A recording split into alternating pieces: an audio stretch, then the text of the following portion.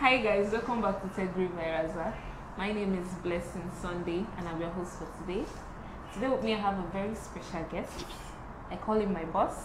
He's a, an agri guru, a digital marketer in agri. Um, he's nobody but Mr. Mubarak Yahaya. Oh, Mr. Mubarak Yahaya, you're welcome. Thank you. Thanks for having me. You're welcome. Um, you. how are you? How have you been? I've been good. I'm fine. And how are you? Very fine, thank you. Yeah, How's life yes. been in general? Life is normal. Life is Nigeria. Really? yeah. Okay, so I don't know if you've heard, but there's been a lot of rumors about um, billions of nairas being invested in agric. Um, I would love to know how that is going, if it's true or not, because since it involves millions, I'm interested. yeah. Anyone would be interested in um, anything that attracts money. Yeah, that's You true. understand? So, agriculture has always been um, lucrative. Okay. You know, before the oil boom, before Nigeria discovered oil, we agriculture was our mainstay of Nigerian economy. So it was our source of export, our source of income generally. So I think what really makes agriculture more lucrative now, where you are hearing that um, there are billions of investment coming in, both from local and foreign investors, it's because of the impact and the influence of technology in agriculture now Okay. which has given rise to agri-tech as a word, you know, the integration of agriculture and technology. So, and because um, Nigeria, I'm sorry to say, but it's a fact, is developing, or in some cases you can say it's underdeveloped. Yeah, we're getting there. Yeah, yeah. And we have a teeming population, and you know, when population increases, there's definitely going to be um, high demand of food. You need to feed people. So that means agriculture is becoming more important. So that means we need to double up or probably triple our food production. And you know what technology does these days? It enhances everything. It simplifies. It it streamlines processes. It makes things easier. So definitely, it makes agriculture easy. And because of the potential in agriculture, because of how the creativity in Nigerian agri- um, Nigerian agriculture is, that is why you see money coming in. People are interested because they know there will be profit. You know, when you sell food, you get money because people want to eat. Okay. You understand? So that's why money is coming in from local and foreign investors. So the rumors you heard are correct.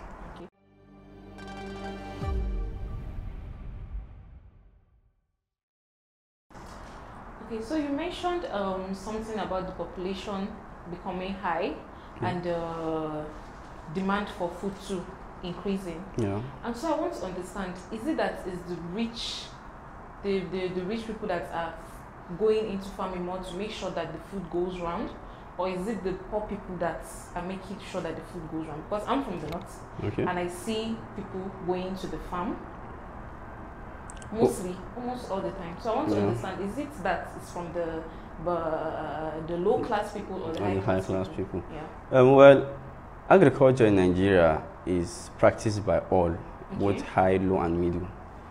You get, but statistically, over 70% of the food we eat, you and I eat, they are from the smallholder farmers. Okay. That's the small farmers. yeah. And those farmers, by statistics also, they have an average of one to three hectares. You understand? So they are the one that feed Nigeria, the smallholder farmers. And you know, when you say smallholder farmers, they are characterized by poor income, sometimes low education. I don't want to say illiteracy because it is relative. Let's say low education, you know, poor access to finance and predominantly traditional practices. But we do have the rich guys going into agriculture. But from what I've seen what I've observed, the majority of them they export. Exports Yes. from Nigeria Outside? to Nigeria outside. Okay. You understand? Because of the, of course, the business aspect is more lucrative and all. So yeah, we have um, the rich and the poor going to agriculture, but then it's well known that um, majority of these farmers are older people. Mm. They're older people, and that's because farming is not appealing to the Gen Z, the younger That's the generation. Yeah, because agriculture, as they say, is a dirty man's job. You know, the average youth prefers to sit in an office with his tie, the AC on, Are and on his computer. for us? Because I don't agree with you. the youth still want money. Yeah, they want money, but how many of them want to get their hands dirty? dirty in a good way. I know a lot of them. Yeah, well, you can take statistics and out of let's say ten youths, find out how many. I think that would prefer. because now people are, are are hungry. There's a need to get more comfortable. Yes. Yes. Yeah, that's think because that's because there are no jobs. If we had jobs in Nigeria, if you had the option of sitting in an office and earning five hundred thousand naira, or going to the farm, digging, you know, weeding. That is what I'm saying. Since there are no jobs, Yes, the youth now are willing to get their hands dirty. they are forcefully. Yes, that's for, they are forcefully willing to do that. That's because there are no jobs. But what, what I'm trying to say is, the ideal situation, the current situation, Yeah.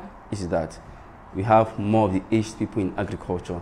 But then where the youths are coming in now, it's the uh, in the use of technology in Okay. agriculture. Okay. You get because the youths are more tech savvy. They know computer stuff. You know they know all these tech things, and they are they are um, they are open to adopting technologies. Yeah, I like that. understand? So it is in agri-tech, like I said before, the combination of agriculture and technology. That is where the youths majorly play a part to leverage technological solutions in, to solve problems in agriculture.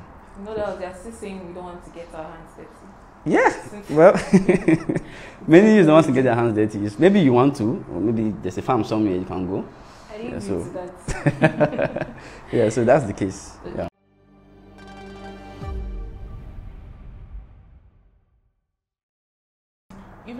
A lot about um, Gen Zs, and I'm beginning to think you have something against us. it's possible. Well, Really? uh, let's leave Eh, it personal. but nevertheless, we actually need your help since you think we are lazy.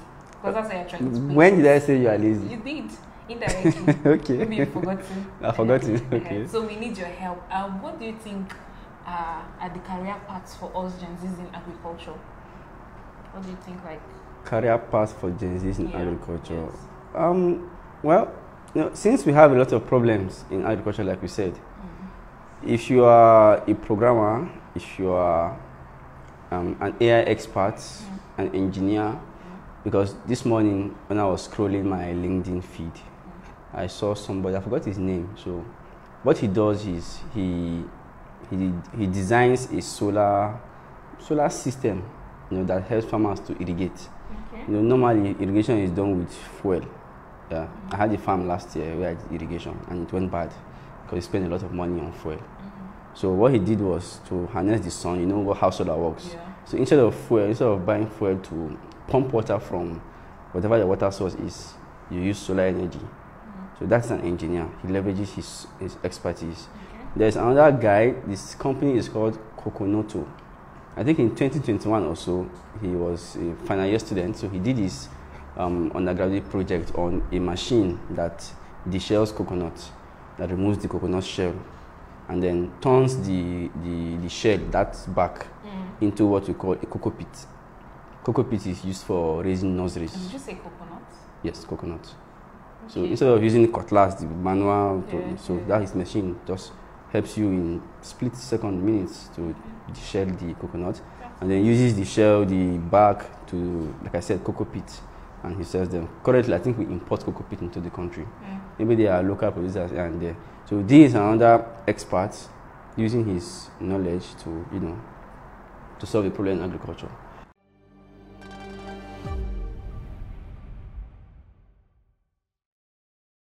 Does that mean if I want to go into agric now, I'll have to have like a, a, a background knowledge about everything? That I just go into it since I'm already in tech.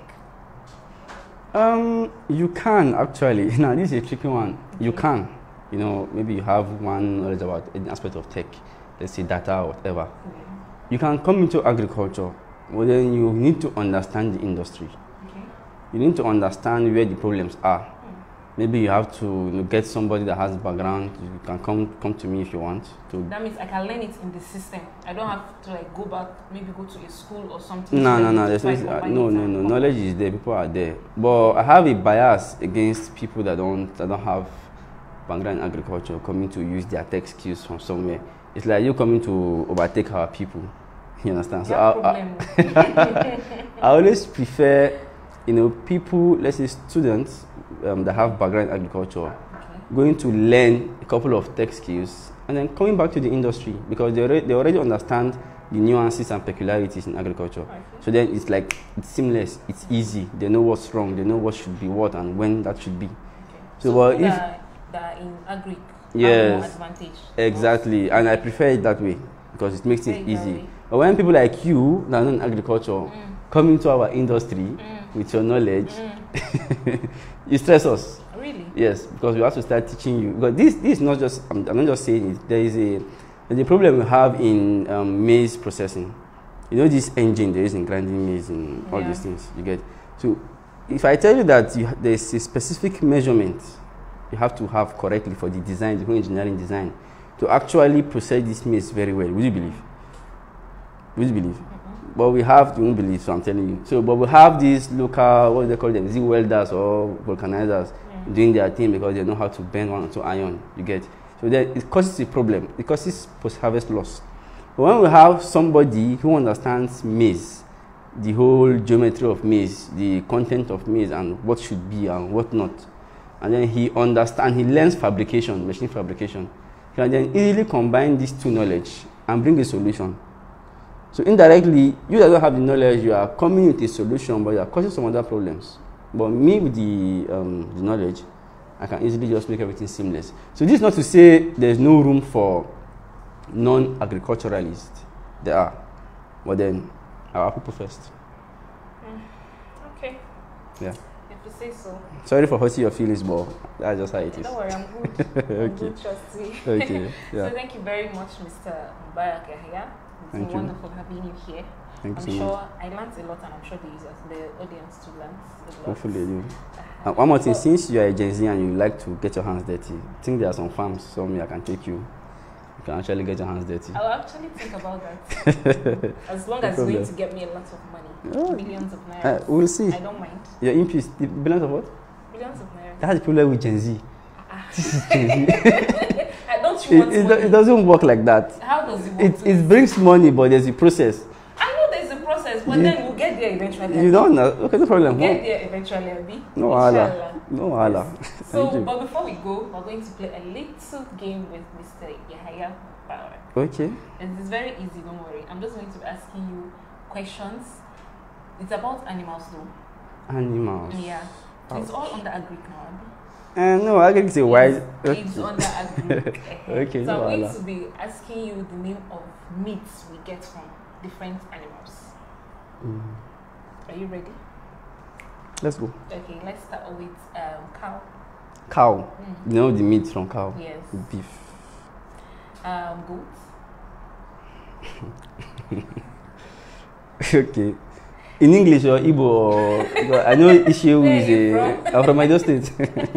What do you say? How do you say it? I don't know. I don't know that language. You don't even know it. Uh, English, please. I don't know. You Goats, don't know? nah. You're very sure you don't know. Mm-mm. Okay, Mm. so the meat gotten from goats is chevon. Chevron. Yes. Okay. Chevron. C H E V O N. C-H-E-V. Okay, Chevron. Okay, I thought it's that company, Chevron. Okay, It's Chevron. Okay. No what about turkey? Turkey is turkey. True yes? How did you get that? Don't worry. It's my field. Okay. What of deer? Yeah. Yeah. The Deer. from there. Very so. Hmm? Very, very. it's very hard. Very so.